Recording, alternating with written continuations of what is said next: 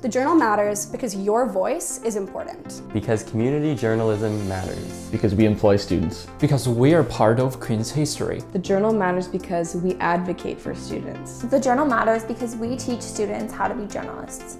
Because we tell your stories. The Journal matters because you need a newspaper that holds your leaders accountable.